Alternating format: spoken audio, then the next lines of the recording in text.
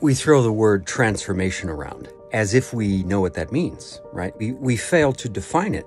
When I realize, for example, I chewed my nails for what, I, I don't know, 30 years. I realized about a year ago, I just stopped. 30 year habit.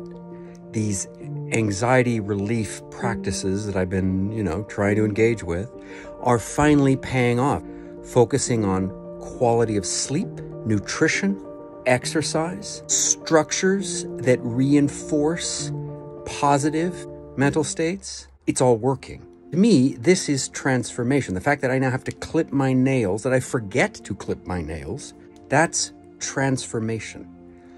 The fact that I come home, it's a weeknight. Just a few years ago, I would be so devastated at the end of a weeknight, a workday. But that would be it. That was all I could accomplish. I'd come home and immediately me begin to vegetate. I was overwhelmed. Now, this evening, uh, after work, I ran some errands, I repaired some stuff, and I just whipped out the vacuum and just ran it around the living room real quickly. And in the midst of doing that, it suddenly struck me who are you? you're, you're vacuuming on a Wednesday night. That's transformation for me. What is it for you?